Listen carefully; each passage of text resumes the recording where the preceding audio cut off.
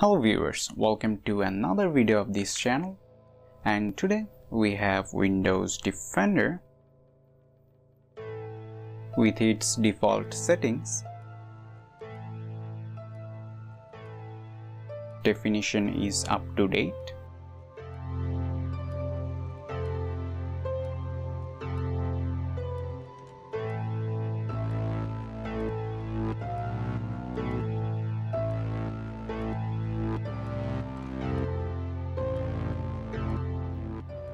and we will test Windows Defender versus these 100 ransomwares.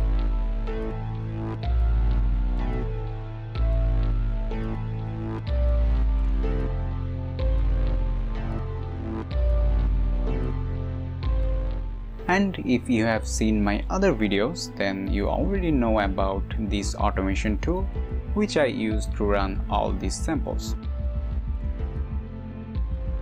and the test usually consists of two parts. In the first part, I will run the test with an active internet connection. In the second part, I will run the test again but without any internet connection. This way, we will be able to see if there is any difference in the detection rate.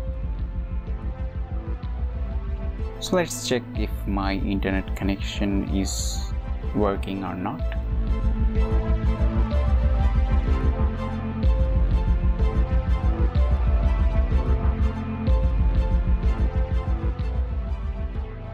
It's working. So now let's start the test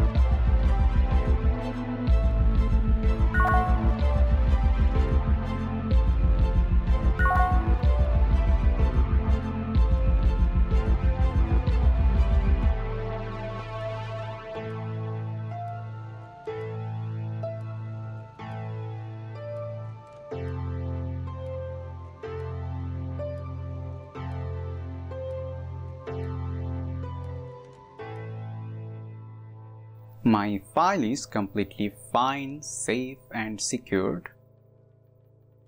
Our Mighty Knight Windows Defender detected and blocked all the samples successfully and defended our kingdom of Windows 10 from the wrath of 100 evil ransomwares. In the next video, I will do the offline detection test. So, thanks for watching.